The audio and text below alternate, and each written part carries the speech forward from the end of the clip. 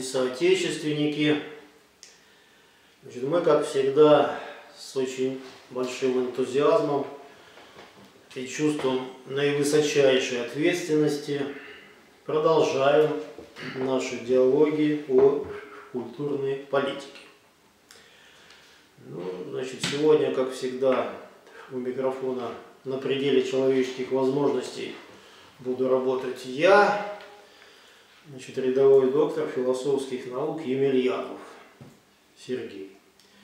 Вот. Ну, ну, как всегда, я это буду делать не один, а в тесном, как говорится, вот рабочем и человеческом контакте с нашим значит, гостем. Вот, очень замечательно. Значит, э, сегодня нас, как говорится, почтил своим присутствием э, значит, э, писатель, да, член Санкт-Петербургской от Санкт-Петербургского отделения Союза писателей России, значит, Козлов Анатолий. Козлов Анатолий Юрьевич по паспорту. Ну, я думаю, что мы можем без отчества обходиться. Вот, хотя мы так с Анатолием в атаку не ходили, в танки не горели. Ну, в общем, в целом у нас сложились уже какие-то более-менее доверительные отношения. Поэтому я думаю, что нам можно и без отчества обходиться. Так вот, Козлов Анатолий. Вот, значит, э, Анатолий, значит, я очень кратко такую биографическую справку на нашего гостя. Анатолий Козлов, значит, э, родился во второй половине прошлого века в Омске, в городе Омске, в Сибири. Западной Сибири. Западной Сибири, да. Вот. В 1991 году он, значит, э, Анатолий, значит, ну, так можно сказать, отяготил себя высшим образованием и окончил инженерно-экономический, Ленинградский инженерно-экономический институт. Ну, тогда это так называлось. Да. Ну вот надо воздать должное Анатолию, высшее образование его не испортило. Вот это. Ну я надеюсь. Хотя не всегда так бывает. Хотя иногда мешает. Да, иногда мешает. Вот Анатолий, Анатолий интеллигентный не, не испортил, да. Высшее образование. Ну и да, значит, там не очень продолжительное время, значит, Анатолий работал по специальности, но в дальнейшем, значит, внутренний голос и классовое чутье подсказало Анатолию, что ему надо свою жизнь ложить на алтарь служения литературе. Вот. Ну, чем вот, собственно, он и занимается достаточно активно и продуктивно. Вот, так что Анатолий Козлов, так образно говоря, является ветераном борьбы за светлое будущее с подпольным стажем.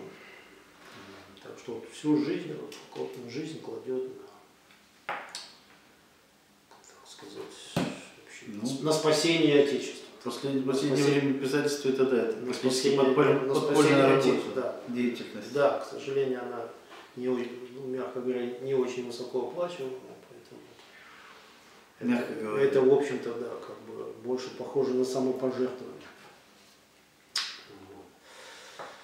Ну, в этом, наверное, есть какой-то все-таки цимус, что ли, так сказать, да. Вот. Какие-то, какие-то это ну, какие-то это приносит имиджевые бонусы. Ну и там иногда чувство глубокого внутреннего удовлетворения Вот. Ну, я тоже какое-то отношение имею к писательству, поэтому я так, наверное, могу так сказать. Но это мои собственные такие как бы, ощущения, что ли, впечатления о, о писательской работе. Вот, так что вот такое вот, значит, э, комплементарное представление можно сделать относительно нашего гостя Козлова Анатолия. Вот. Да. Ну а э, первую, значит, я думаю, что нашу беседу можно начать вот с какого вопроса. Ну, в принципе, он вполне естественный, мне кажется, и логичным является. Уже давно было замечено, что все люди были детьми когда-то. Ну, как правило. Да, как правило, так. Я думаю, что это и к нам тоже относится. Ну, мы точно. Полно. Мы тогда еще точно были. Да. Ну и вот э, э, развивая эту мысль, наверное, можно сказать, что в силу как бы объективных, так сказать, что ли, обстоятельств, ну, значительная часть твоей, так сказать, единственной жизни прошла, Ну, половина. половина жизни прошла, так сказать, в Советском Союзе. В Советском Союзе были октябрята, пионеры, комсомольцы, пи- пионерские лагеря. Присутствовал Да, да, да. Вот, была, э, в общем-то, ну, наверное, можно без юмора говорить, даже об этом великая советская литература, кинематограф был замечательный. Ну, вот это было точно. Да, это было то.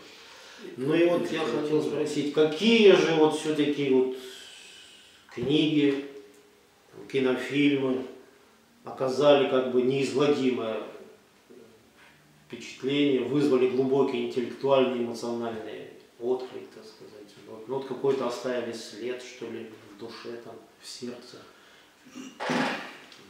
Ну, э, прежде всего, наверное, те книги, те э, кинофильмы, которые были одними из первых. То есть, когда уже человек начинает как бы помнить свое детство, вспоминать то есть его, Да. да, то есть, когда он достигает, там, не знаю, лет, наверное, 6-7, вот, но если учесть, что мне, вот, допустим, 6 лет и 7 исполнилось 7, в 71 году, давайте вспомним, какие фильмы тогда выходили и имели Фильм «Офицер». популярность. Замечательный. Неуловимые мстители. Неуловимые, ну, неуловимые мстители. Да. Неуловимые Я, мстители. да. Да, первый фильм, это, потом второй, потом «Корона Российской империи», э, потом появился фи- фильм «Освобождение». Конечно, мальчишки того времени, ну, мы, основные игры были в войну, вот как сейчас это, наверное, э, люди боятся в этом признаться, боятся сказать, а ведь действительно наши любимые игры были в войну, э, защита Брестской крепости, Тогда, кстати говоря, стало известно о подвиге Брестской крепости. Вот она только-только-только, буквально там, конец 60-х, начало 70-х стали говорить об этом, то что э, это неизвестно было, стали материалы раскрывать. В 65 году, опять же отмечу, стали отмечать День Победы. Вот, в 65 году, то есть мне уже был год, и как раз как я, я достиг там какого-то уже сознательного возраста, это превратилось в настоящее празднество, праздники. Э, Ветераны у нас, понятно, что они жили вот э, по соседству в нашем подъезде, э, выходили с орденами. И, конечно, это не могло не произвести вот на мое поколение, там вот конца 60-х, э, середины вернее, 60-х, там конца, не могло произвести определенное впечатление, потому что это и для людей было, э, э, для взрослых это был определенный как бы ну, отмашка такая, да, такой момент, что вот это великий праздник, его нужно праздновать и так далее, и так далее. И это происходило действительно, это, это было летние майские дни, и все это происходило на улицах. 9 И мая. это, конечно, произвело, вот это произвело огромное впечатление. Я помню, что фильмы про войну, игры про войну были прежде всего на первом месте. Мы это как любили войнушку в эту играть. Смотрели вот эти фильмы, все выходили с освобождения. Четыре танкиста и собака польские. Да, да, Помню, как мы с поляками распевали эти песни из этого фильма. Да. Ну вот, э, замечательный. Вот это, конечно, из, из кинематографа, наверное, когда я еще не умел читать, собственно говоря, наверное, вот первые, да, я из того поколения, которое, так сказать, вот раньше, как сейчас, компьютерные игры и стрелялки, наверное, раньше, чем на- научится человек читать и вообще азбуку разбирать. Так, конечно же, кинематограф был одним из первых. Ну Ленин еще говорил, из всех видов искусств для нас важнейшим является кино. Ну а в детском саду, я помню, конечно же, это яркое впечатление, появился «Волшебник изумрудного города» и же с ним Волкова. И вот эти книжки были, они тогда модные были, вот, и их было сложно достать. Ну, в Советском Союзе вообще книгу было хорошее, тяжело достать. Собственно говоря, как и, как и сейчас у нас. Вот, книги, книжки хорошие выходят мизерными тиражами. Ну вот, хороший. Достать, достать их можно. Да, 500, экземпляров, 500 экземпляров, издано, слава Богу, Автор при поддержке, при поддержке э, комитета по печати Санкт-Петербурга. Вот. И э, вот э, это одни из первых вот в этом возрасте, так сказать, в сознательном, когда я начинал запоминать, понимать что-то. Ну, Вот это было одним из первых таких впечатлений в детстве. Да. Ну хорошо. Э, Вокруг, ну вот как э, вокруг Гарри Поттера был такой вот э, ажиотаж, так вот вокруг книг, книг Волкова тоже было это популярное, модное, выходящее. Он писал тут же с колес, и тут же все это читали. Ну, вот, то есть это было популярные вот такие вот книги и фильмы, которые вот у нас, я помню, пользовались огромным успехом. Ну а вот эти ну, как бы произведения, которые, так сказать, можно отнести, наверное, к классике соцреализма, э, как закалялась сталь, повесть о настоящем человеке, они, наверное, тоже как-то оказывались в поле. Ну, конечно, ведь э, э, эти фильмы являлись еще и такой пропагандистской составляющей, понятно, и идеологической, то есть они считались вос- воспитывающими человека. Да, них большой такой идейный потенциал. Понятно, что и как закалялась стали и повесть о настоящем человеке я тоже впервые не прочитал, а, а увидел на экране э, Чапаев фильм. О, Чапаев отлично. Александр Невский, я помню, для меня дедушка вводил э, в кино. Чапаев отсюда. Э, Александр Невский это потрясающий, конечно, для мальчишек Да, это это Чер- Черкасов. Вот, да, и вот это мы все, вот эти книги. Ну а потом, когда я уже э, читал, все это в школе проходили, конечно же, это были, ну, ну, так, э, я в такой среде жил, в общем-то, в простой, это рабочий по- поселок, рабочий, ну, вернее, район. И там все это воспринимали действительно, вот как сказать, э, непосредственно, да, действительно герой э, Марисев, ну герой. Ну, герой, конечно. Герой. Ну, а? И так они воспринимали, то есть там не говорили, а вот, а вот может быть, если Александр Матросов герой закрыл амбразуру, Безусловно. да, э, то есть не, не то, что там мог, бы он быть так, вот неправильно, там не- солдаты так не делают, никто не рассуждал. Э, Во-первых, вокруг были такие те, кто прошли это, во-вторых, значит, Павка Корчагин, да, это вы- выдуманный герой, но Но все равно Но это же- сильный образ. это достаточно. сильный образ, это такая, знаете, это, э, Сильный. это такая песня, в общем-то, такой, вот, э, При всей роли. Там эту узкоколейку можно было не строить, на самом деле это, Нет, так там это не так на важно. самом деле Ну, образ очень сильный. о, о силе романа говорит то, что саму биографию Островского официально написали по его роману. То есть он не воевал в конной, он не строил эту узкоколейку. Он был, кстати, человек относительно образованный по сравнению с Павкой Корчагиным. Вот, он э, был из семьи, в общем-то, там, ну, чуть ли не учительской, не помню. Но, во всяком случае, он э, был достаточно образован. Он преподавал во время гражданской войны. Есть фотографии, где он с преподавательским составом. А служить он начал после войны уже, но в Красной Армии прошел и вот таких ранений не имел. Так вот, его официальную биографию написали по его роману. Это действительно, это, я считаю, великий вот такой вот писательский талант Да. написать такой роман, и понятно, понятно, что он не мог на нас не произвести какого-то впечатления. И вот, наверное, на всю жизнь какой-то вот этот Ну, след, пожалуй, что да. такое вот сказать, это горение с шашкой вперед на врага, оно, я думаю, что в том поколении во многих Да, это осталось. имело большое, конечно, Вот. идейно-воспитательное значение. И я до сих пор, нет, одно время, конечно, я тоже считал этот роман таким вот агиткой такой вот, но потом, когда я уже взро- взрослым человеком изучив и посмотрев действительно реальные факты биографии, как сказать, вообще он работал над ним, я проникся огромным уважением вообще вот как писатель. Я согласен, там можно много критиковать и спорить в самом с, с текстом, Ну, есть. там есть какие-то утверждения очень странные, но основные постулаты, если так подумать, ну, во-первых, э, полное отрицание эвтаназии, да, то есть жить во что бы то ни стало. Это, это то, что, в общем-то, наверное, это было вот после Октябрьской событий вообще, и после, вообще после революции февральской, когда мир как бы изменился, и все старые истины заново пересматривались, что вот, а вот надо ли действительно так, а можно ли так, а можно или нет. То есть, как говорится, вот этих 10, 10 заповедей.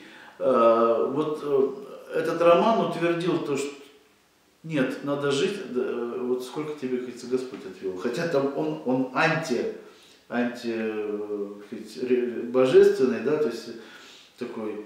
Да, и все силы надо отдать борьбе за... Ибо и, и силы-то надо отдать борьбе, борьбе за, за, за благо ближнего. Да, то есть положи, положи жизнь за други своя. Э, это, это, это получилось спонтанно, это получилось непроизвольно, но как бы вот в самом начале вот этого строя стали закладываться основы его существования, и а, они, как ни странно, вернулись вот на, на круги своя, то есть отрицая э, Бога, отрицая действительно Создателя и противясь ему, человек в подсознательном своем э, вот, стремлении жить, да, э, обрести основу, он вернулся к тем же истинам. Вот. Но еще долго это сопротивление шло, что все-таки вот, как да. вот да. это удивительно вообще. Да, да, да, очень сильная личность, конечно. Хорошо, Анатолий, ну, в общем, наверное, такой можно подвести промежуточный итог и сказать, что, в общем, книги прочитанные, и кино, книги прочитанные в детстве, там, кинофильмы просмотренные в таком вот в раннем что ли, возрасте, оказали на тебя очень сильное влияние. Полет Гагарина. Да, полет Гагарина, конечно, тоже. Да. Ведь он погиб вот. как раз, когда мне было да, там три года. Да. И, наверное, можно сказать, что эти книги, они как бы вот какое-то зародили зерно, что ли, в душу, там, в сердце, в печень, так сказать, да. И у тебя возникло, наверное, ну, сначала, может быть, смутное желание самому что-то как бы написать, выразить свои, что ли, мысли, чувства, так сказать. Там, да. Ну, это, конечно, можно сказать, вот. биохимик, который да, изучит да. организм. Вот. И, ну и можно сказать, что, в общем-то, это как бы ну, тенденция в себе реализовала. Сейчас у тебя уже около десятка книг, значит, да, вот, и издано, так сказать, достаточно большими тиражами. Некоторые из этих книг здесь значит, вот, представлены сегодня. Да? Это вот поезд до станции Дно, Тысячелетний путь, Тысячелетний путь литературы, литературы по следу Радханитов. По следу Радханитов. Ну вот, может быть, не все э, зрители, слушатели знают, что такое Радханиты. Может быть, ну, на самом деле... Имеет смысл, как бы, может быть, пояснить это. Это, это я... Ну, в общем, давай вот так книга. Книжка уже существует порядка трех лет, наверное, если не ошибаюсь, может быть, чуть побольше. И интересно, что э, мной замечено было, что не так много действительно людей знают, вот, сказать, это слово, понимают. Хотя вот если набрать его в поисковике, допустим, в Яндексе, выскакивает очень много информации. Еврейские купцы. И много информации. Иудейские бродячие купцы, ну, иногда называют странствующими. Но э, суть не в этом, ведь книга на самом деле написана, это вся, вся жизнь Александра Невского. То есть это книга про Александра Невского, вообще-то. Вот. Ну, почему не, она так называется? Не в силе Бога в правде. Да, но почему она так называется? Да, почему она так называется? Ну вот, э, собственно говоря, а с чем, э, с чем боролся Александр Невский, что он делал? В основе своей, он объединял русские земли. И он отстаивал Русь. Ведь при Александре Невском Русь это, в общем-то, был Великий Новгород. И все. С одной стороны Орда, с другой стороны уже наступал Запад. Э, немецкие, шведские, там, датские и прочие рыцари. И оставался, по сути, один город. И вот из этого пятачка, благодаря стараниям и подвигам Александра Невского, э, Русь превратилась когда-то э, в Российскую империю, это, не знаю, 25, что ли, там, миллионов квадратных километров. Потом СССР, э, которая была 22 миллиона квадратных километров. Вот. То есть это огромнейшая вот империя, и даже сейчас Россия, оставшись вот, без своих э, окраинных земель, она в общем-то, является самым большим государством э, в мире, и 17 тысяч Девятую часть суши занимает. 17 миллионов квадратных километров. Советский Союз одну шестую часть суши занимает, да. Россия Все равно Это благодаря, это благодаря той политике, тому направлению, которое задал Александр Невский. А что задал Александр Невский? Вот как раз это объединение, соединение русских земель, объединение э, русских людей. А что этому всегда мешало? Этому мешало всегда как часть э, э, общества э, на Руси, России, там, э, как угодно, которая, в общем-то, стремилась э, вот, иметь такие преференции на Западе. А, а кто это, как правило? Это, в общем-то, э, ну, торговый капитал, финансовый капитал, ростовщический. Да. Ростовщичество у нас не было на Руси, с ним боролись, оно запрещалось. Это был грех большой. Вот. А вот на Западе оно процветало. Оно было. А вот. И западная цивилизация, э, как ни странно, это католическая церковь, Папа Римский и ростовщический капитал, торгово-ростовщический. Это купцы. Христиане не могли заниматься ростовщичеством. Торговать могли, а вот ростовщичество было запрещено, а ведь оно приносило как раз немалый доход. И я, который шел в казну в том числе, казна находилась у, у Папы Римского, у церкви. Вот. Так вот это слияние церкви с ростовщическим капиталом, вот это основа западной цивилизации. Вот вам двойной стандарт. Нельзя, но можно. И, кстати, христианин мог перейти... Еврейский бизнес. Да, и христианин мог перейти, допустим, стать ростовщиком, приняв иудейство. То есть вот нельзя, но можно, и, если это полезно. И вот это вот двойной стандарт, двойная вот это вот, сказать, э, вот вам нельзя, нам можно. Или вот так вот нельзя вроде бы, но если хочется, если надо, то можно. Он продолжает действовать и продолжает существовать. И вот поэтому название такое, и вот эта книга, предназначенная, в общем-то, для детей 12 лет, я столкнулся с тем, что я покупаю детям, читаю дети, а потом с удовольствием читают мамы, папы, папы читают с огромным удовольствием, дедушки, бабушки, и ждут продолжения. Вот, продолжение написано, но единственное, что не может выйти. Вот, то есть вот о чем речь. То есть и те люди, которые, и дети, наверное, которые эту книгу успели прочитать, для них те события, которые сегодня происходят вообще в нашем мире, они, наверное, более понятны. То есть чем дело, почему, откуда взялось противоречие. А почему не можем найти общий язык? Потому что так вот заложено, и э, этому, как минимум, ну, ну это вот я описываю тут э, девятый век. Девятый век. Начинается с девятого, а потом там переходит, вот, попадаем уже в 13 век и смотрим деяния, видим Александра Невского. Вот. И тогда уже вот его деятельность, почему он не с папой заключился, почему с Ордой. Да, с Ордой заключился. Тут же наглядно Даниил Галицкий, его ошибка, которую до сих пор почитают, вот, э, и считают, вот, первый король, который единственный, который сказать, был на Руси. Вот. А ведь он расторг через год уже эту унию заключенную с папой римским, но было поздно, Галицию все католичили еще за год. И все. И вот с тех пор вот эти проблемы, вот эти проблемы, вот они 800 лет мы их расхлебываем. Понятно. Да, занимательно, занимательно. Вот, вот такая детская книжка. Ну, Это... А там есть еврейский юмор? Еврейский юмор? Еврейский юмор ну, там... очень глубокий обычно, тонкий такой. Ну там... там... Мне, кстати, очень, очень, мне очень нравится, вот, что ну, как мудрость на, как вот, ну, философия, любовь к мудрости, да, что этимологически. Мудрость по-гречески София. Да. А на иврите мудрость хохма. Отсюда хохма. Так что вот мудрость и юмор, они вместе ходят. Есть еще такое понятие хуцпа или хуцпа. Ну, это харизма такая. Да, да. Э, ну, там э, такой там, есть да, смешной эпизод такой, но он как не анекдот, его, конечно, так его надо читать просто, и там довольно много. Вот, он, мальчик э, из а, общины иудейский пытается продать им ученого таракана. Да, таракан, а тараканы, тараканы в то время они большая редкость, их даже в Европе не было, не то что в России. А русские дети, вот, которые пришли в наше время, пытаются продать им еврейский, э, вот этого таракана ученого.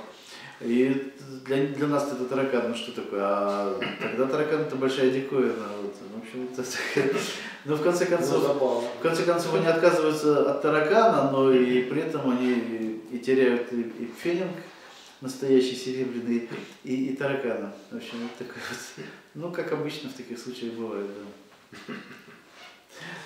Ну, забавно, забавно. Ученые тараканы.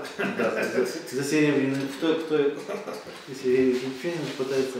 А тараканам рассказывают историю. Э, Как, как он стал ученым? Ну, как, у нас, как появляются ученые тараканы? Это, наверное, тема отдельной, дихлофосом. отдельной беседы. Да. Вот.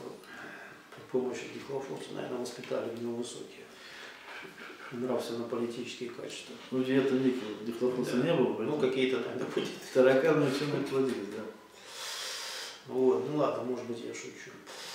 Хорошо, Анатолий, ну а вот, э, вот этот вот фолиант, э, Поезд до станции поезд до станции Дно, тут вот портрет Николая II, по-моему, Да. если я не ошибаюсь, тоже историческое. Да, это, исторический роман. Это исторический роман, но это не роман в том плане, что, это даже так показать. что такая вот билетристика для развлечения, так сказать, с амурами и с прочими делами. Есть там, конечно, любовь и, и- Пусть вся страна. и, все, и сказать, все, что положено быть в романах, но роман этот, в общем-то, историко-документальный. То есть все события, э, прежде всего, взяты э, сказать, реальные, и я их, в общем, сверял по разным источникам, не просто там вот взял, вот кто-то там что-то сказал, упомянул, и вот он, он, дескать, свидетель того времени, вот он сказал правду. Нет, я на это не ориентировался, я обязательно перепроверял, и уже из нескольких источников выводил, что действительно это было примерно вот так. И далее я составил четкую хронологию событий, потому что, как правило, книги А как события чего? Отречение от Собы- э, События такие начинаются значит, э, с 905 года, конец русско-японской, раненый э, значит, э, унтер-офицер возвращается домой э, из, из сибирской глубинки, западно-сибирской. Вот. И он видит вот, этот город Петербург, э, вот, э, сказать, во всей его, его вот этой вот эм, антивоенной пат- э, значит, э, обстановке, э, находится там, сказать, общается с офицерами, с ранними солдатами, видит вот эту общественность, э, сказать, э, в кавычках, которая а- а- антивоенная, которая писала письма э, японскому императору, поздравляя его с победой. Вот. И он не может понять вот это вот, там солдаты шли и воевали, ну как, как могли так воевали, вот, сказать, отдавали свою жизнь, а тут вдруг, значит, вот такое вот непонятное движение. Вот. Ну и э, далее э, потом он возвращается домой, а потом сразу начинается год э, э, 14 Это начало Первой мировой да, то есть буквально накануне, там за несколько дней, там за, за полмесяца до этого, до войны, вот, и начинается Первая мировая. То есть и дальше идет Первая мировая, я пытался значит, тоже разобраться вообще, что, за, что там было на самом деле, кто там побеждал, кто как. Но по всем, э, по, по военным, по расположению войск, по потерям, которые даны значит, в, в таблицах различных справочниках, по картам боевых действий, э, я для себя сделал удивительный вывод, что, во-первых, 14 год русская армия просто либо побеждала, либо стояла на месте, никуда немцев не выпускала ни из Восточной Пруссии, несмотря на то, что там два корпуса э, было разгромлено Самсонова, армия все равно стояла, без командующего, пополненная. И ни из э, там, Белоруссии, ни из Польши, то есть все бои шли, и наши либо атаковали, либо стояли на месте, не отступая. Вот. 15 год тоже начался, в общем-то, достаточно успешно. Но потом был саботаж. Потом был саботаж, нехватка вооружений, с- снаряжений. Русская армия э, вот, отступала до тех пор, пока не стал царь во главе армии. Как только царь стал главе армии, русская армия перестала отступать. Вот, и подготовили широкое наступление, так сказать, использованием новых каких-то тактических приемов. И нанесли, в общем-то, поражение, была разгромлена Австро-Венгрия.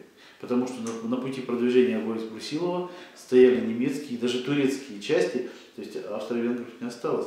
И они все были у нас в плену, там, от Волги до до Восточной Сибири, в лагерях содержались. Вот. Ну и до победы оставалось не так много, нужно было взять Босфор и так далее. Понятно, понятно. Ну, в общем, исторический роман, посвященный, Да, по потом сути дела, последнему императору Николаю II. вот, не только Ну, он все-таки, наверное, в эпицентре. Но там есть просто вот, так сказать, э, вот этот механизм, на самом деле, как, как его от власти отстраняли.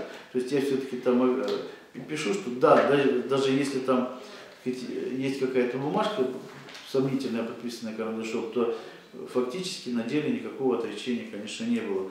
Ну а дальше э, гражданская война. Гражданская война гражданская война в Сибири, Восточный фронт. Почему? У нас это как бы так обычно все любят там про Деникина говорить, про там, Корнилова, а ведь э, армиями командовал адмирал Колчак, вот, который как там появился. Это надо было разобраться.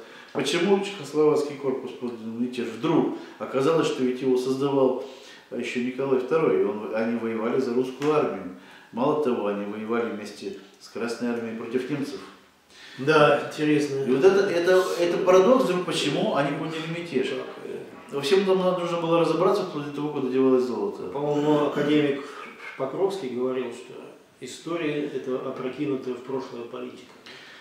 Конечно, то есть кто говорят, зачем вы занимаетесь политикой, поэт, поэт не, не, не, не лезь в политику. На самом деле, э, то, Ну, что, политика-то нами все равно будет заниматься. то, что сегодня политика, это то, что сегодня происходит, это история, э, история это политика, которая была, вот, Да. которая была сегодня. Хорошо.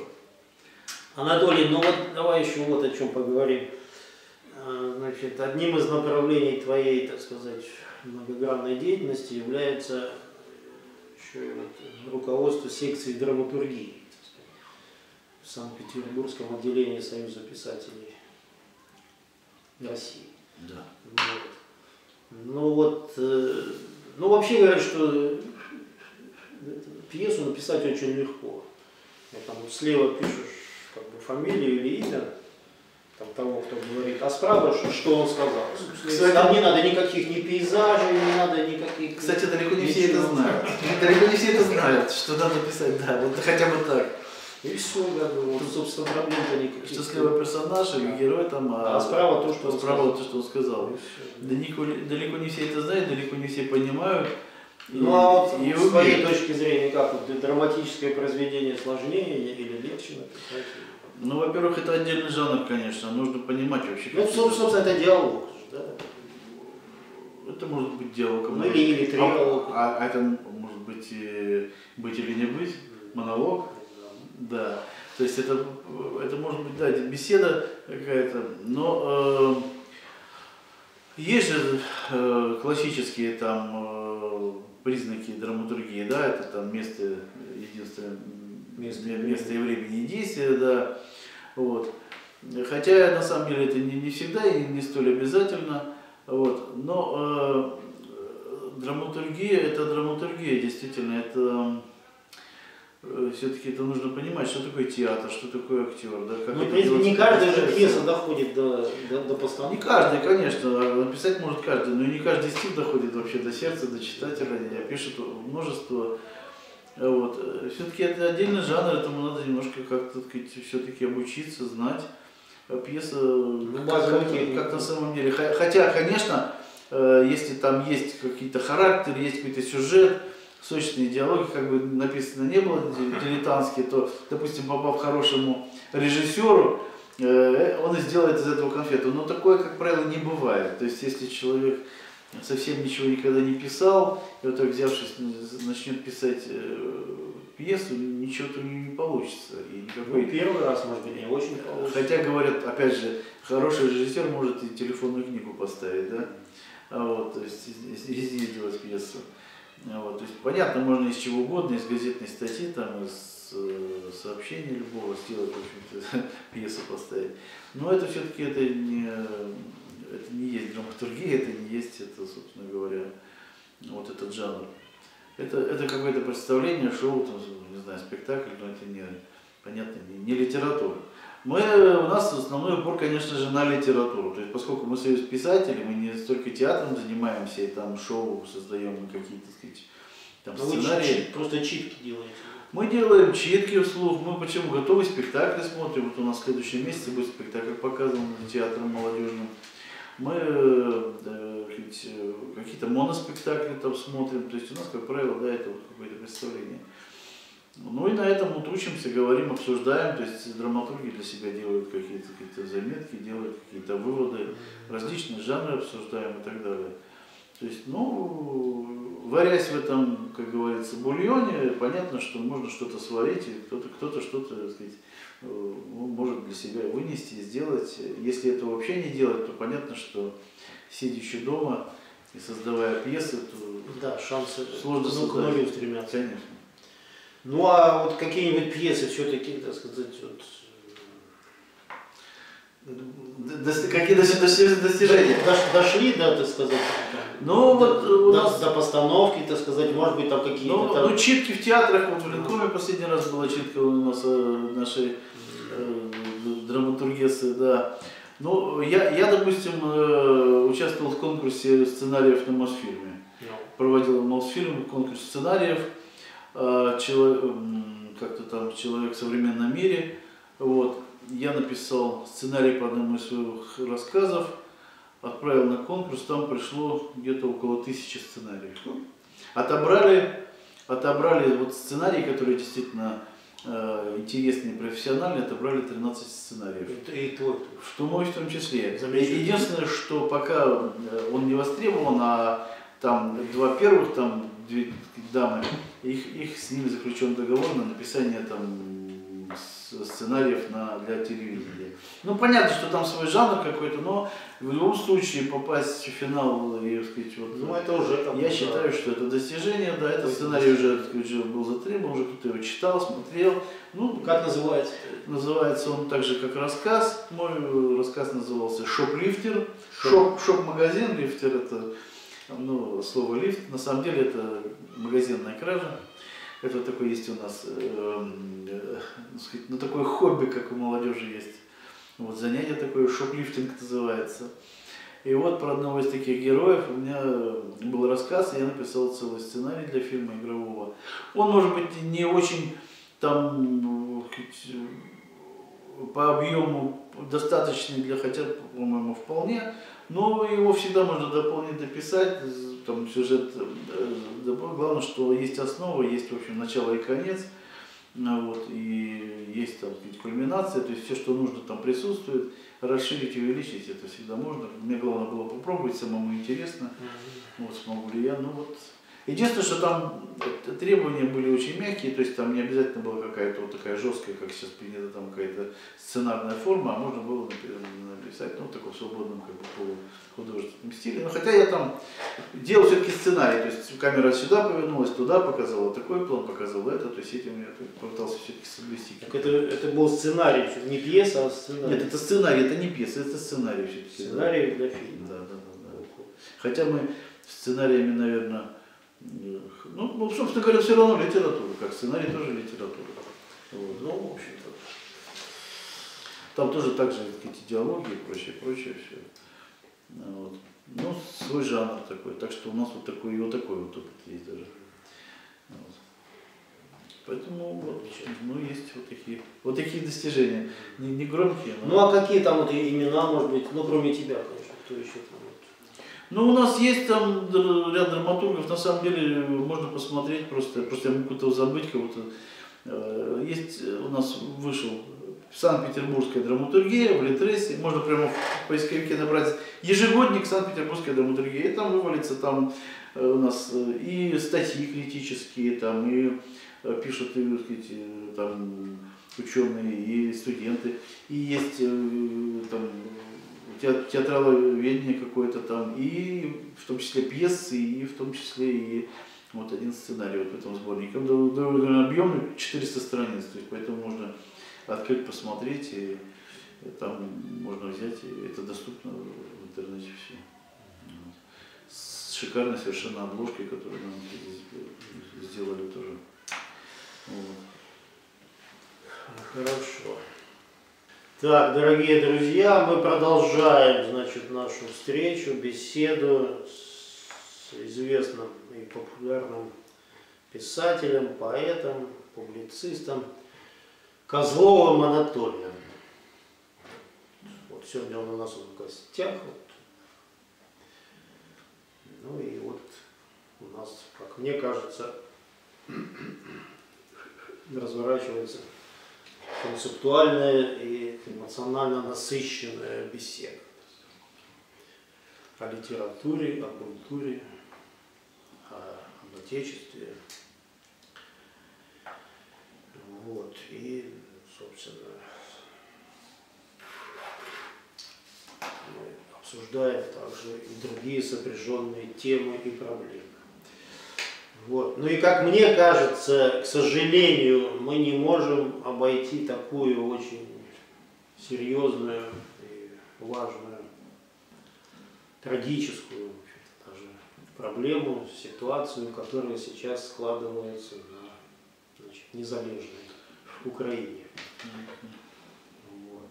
Ну, то, что сейчас происходит на Украине, как-то вот не рекомендуется называть войной, что это военная операция по денацификации Ну, Украины. Как тут не назови, Да. а Ну вот происходит всё-таки- все то же самое. Да, Анатолий, ну вот все-таки вот твое мнение, отношение, так сказать, ну, кратко, желательно. Вы знаете, Да. э, когда этот вопрос вообще задают, я вспоминаю, э, наверное, это был 89 год, когда Берлинскую стену ломали. Да, где-то, да. Еще Советский Союз. Да, я помню, там это было огромное шоу, представление, Pink Floyd, The Wall. Я был студентом, мы так радовались, мы плясали. Это был действительно праздник, и это был праздник в нашей стране. Это было какое-то, знаете, такое вот что-то скинуть с себя, такой какой-то груз. И, то есть вот, и вот мы объединяем народ э, немецкий, да, и мы сами как-то, сказать, вроде как готовы с ними обниматься, там, с Америкой какие-то телемосты. А вы знаете, буквально в этом же году, или может быть год прошел, мой папа покойный, э, в общем, Юрий. простой, простой Юрий Алексеевич, да, он был, в общем-то, как сказать, простой рабочий, ну, квалифицированный там ударник труда, понятно, но у него образование было, я не знаю, э, он, так сказать, в войну там где-то учился, там, ходил в школу, то есть он как-то там, не знаю, закончил ли он там 5 классов или 7, вот, но, во всяком случае, даже, по-моему, и 8 толком не было. Ну, вот, хотя он рабочий был квалифицированный, я еще раз говорю, на шинном заводе работал. И вот он так это, э, далеко не зная правильность вы- выговаривания всех слов умных, не- далеко сказать, не владея категориями научными, он так посмотрел, послушал, и потом мне однажды сказал, а я еще был студентом, сказал, ну вот вы разрушили стену, а потом вы будете с ним воевать. Конечно же, я, ну, я просто думаю, ну что ты можешь понимать, простой, малограмотный человек. Ты посмотри, что в мире-то творится. Мир-то преобразился, это совсем другой мир. Ну ты жил там, э, служил, так сказать, в 46 году в Германии. Что-то там, там еще живые действительно бегали нацисты, которые пытались снимать портреты Ленина, Сталина. Вот, американцы высаживали, сказать. Вот, что ты можешь знать? Ты родился в такое время, а сейчас ведь это же другой мир. Понимаете, вот. Вот, и он сказал, вы будете с ними воевать. То есть с немцами. С ними. Понимаете, он просто сказал с ними. А с ними, ну, э, мы с кем сейчас, собственно говоря, идет борьба-то? Не с украинцами ведь, не с немцами. Вообще с людьми без национальности, по сути дела. Вот с кем. То есть, эм, С глобальным капиталом. вот, а потом, когда я уже сам приехал в 94 году во Львов, да там нормально все было, играли джем сейшн, мы, так сказать, ходили в футболках Pink Floyd, слушали, приходили на эти рок-тусовки. Но по улицам ходили, толпами ходили люди, вот в этих вот своих, сказать, мундирах, как оно называлось,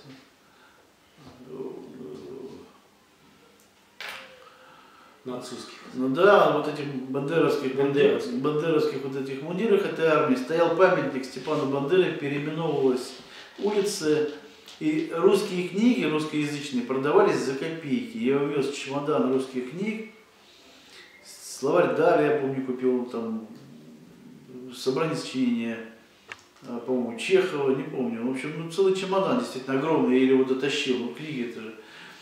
А, и когда я приехал на следующий год, в 95-м опять на Украину, во Львов, туда же, уже запавшись с деньгами и чемоданом большим, чтобы, сказать, все это дело еще раз накупить. Оказалось, что не только нет русскоязычной литературы, но даже нет магазинов книжных, потому что все убрали, историю, всю литературу русскую, а поставить туда полки нечего. То там кое-где стоял вот этот новодел украинский, там про историю Украины, которая тут когда-то была. Ну, то есть вот эти вот поделки, которые, по которым они потом и стали изучать историю. Уже они начали писаться, создаваться. Вот.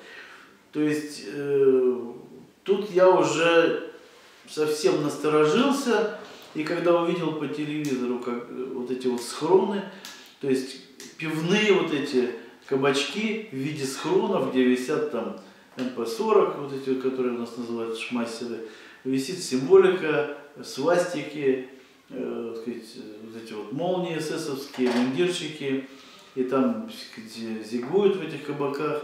Вот так для шутки Хорошо, просто. Анатолий, к сожалению, Я- в наше я- время Я ну, просто- вот сейчас вот война на Украине сейчас вот как Война.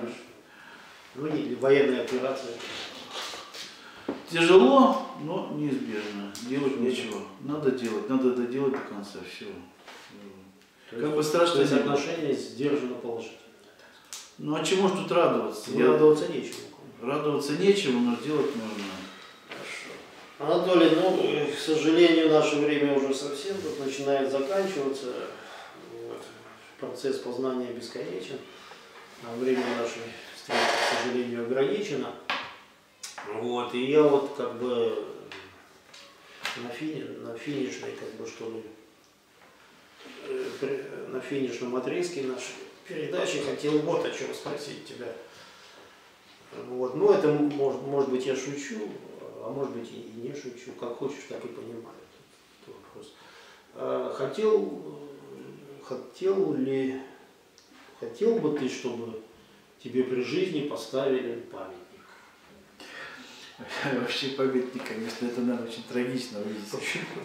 Но некоторым ставят при жизни. По-моему, Да. этому Вольфовичу поставили. Ну, лишь лишь бы не на кладбище. Да. Когда я первый Ну, раз... памятник от слова память. Когда я первый раз стал ла- лауреатом, э, Да. получил за пьесу, э, это в 90-е годы, э, стал сказать, премию, там, э, был лауреатом. Я, я каждый день ждал звонка, сейчас будут звонить с предложением то ли фильм ставить, то ли значит, в театре приглашать. Вот. И вот я так, наверное, в таком состоянии жил, наверное, около года. С тех пор я, в общем, Немножко да, с тех пор у меня все, все, все осело, легло, и теперь я к памятникам отношусь, в общем, ну, как сказать, как к памятникам. Вот, так что у меня, в общем, нормальное здоровое желание. В общем, я о них не Ну, в общем, думаю. ты памятник воздвиг себе нерукотворный. Ну, стараюсь, да, так, в основном. Ну, будем да, считать, что книги войдут, так сказать, в аналы истории, так сказать, и оставят какой-то след, так сказать, в культуре отечественной. Ну что же, значит, наши дорогие друзья, наша встреча, значит, с писателем, поэтом, публицистом Козловым Анатолием, значит, к сожалению, заканчивается. Вот. Подписывайтесь на наш канал, будьте здоровы, живите богато, и блог нам в помощь. Блог.